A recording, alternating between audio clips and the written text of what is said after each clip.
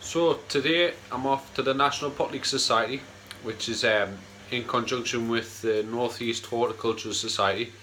Uh, this show, same again, you get a lot of the top level national national growers uh, shown at this show.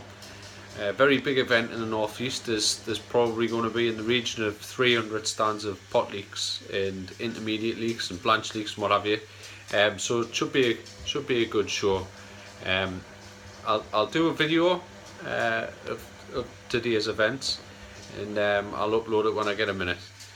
As I say, it's going to be very busy, so uh, really looking forward to it. So it's at Stanley Community Centre, so if you've got five, pop down and have a look at it. But yeah, see what see see what happens today.